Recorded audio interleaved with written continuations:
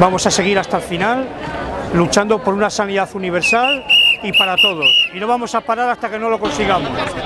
Ya hasta la justicia está diciendo que no, y él no va a ser más que la justicia ni más que todos los madrileños juntos.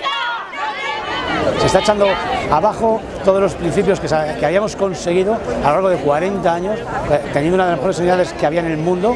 Está, claro, está echando todo abajo este hombre y no se da cuenta que tiene a todo el mundo en contra, partidos políticos, asociaciones de vecinos, incluso gente del PP que está rompiendo los carnets ahora mismo. O sea, pues están en contra de, de esta situación, claro. De esta sanidad pública, que es referente mundial que desde su escena política de mantener ociosos se la quieren cargar. Lo que quieren es, como ya no hay ladrillo, no hay donaciones por el ladrillo, pero quieren ser donados por las empresas Capio y todos estos, este negocio no le va a salir bien porque la ciudadanía entera, entre españoles y inmigrantes, no lo vamos a permitir.